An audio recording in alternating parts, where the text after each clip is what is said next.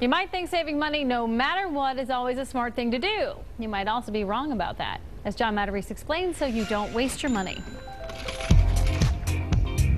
With gasoline and so many other items rising in price this year, we all want to save money where we can. Unfortunately, in the rush to save, we often do things that cost more in the long run.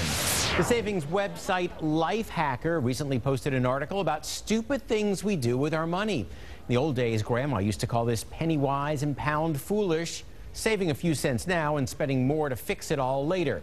Among the top stupid money moves, skipping dental checkups, then paying more for fillings or crowns later to fix it.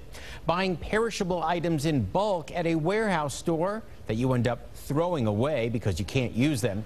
And skipping the company's 401k because you need the money right now.